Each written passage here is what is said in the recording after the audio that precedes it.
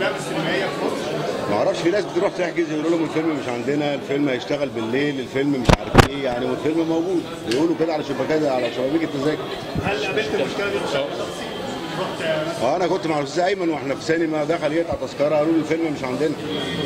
طب بالنسبة لأفلام الموسم بشكل عام مش معنى فصل مكه قدامك هو اللي عليه مش هو بس يعني أستاذ كريم قول لنا كتير لا أنا مش عايز أتكلم. والله. هو بس بس مش هو لوحده بس. لا مش هو لوحده مش مش مش هو هو وجنبه أفلام.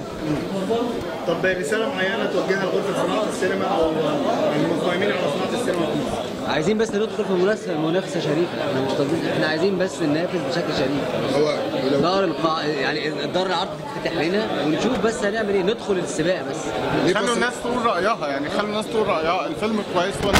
الناس اللي هتنجح أو الناس اللي هتسقط الفيلم.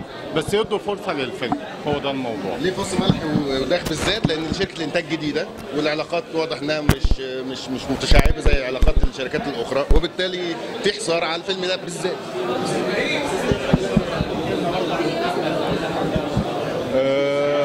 آه، أزمة غريبة جدا. لو إحنا عمالين بنطلب من الناس إن يبقى في صناعة سينما لو إحنا بنشجع المنتجين إزاي بنشجع المنتجين إن هم ينتجوا؟ وبنيجي بعد كده نقفل عليهم دور العرض. لأن أنا لمست الموضوع ده بنفسي من أول لحظة في العرض.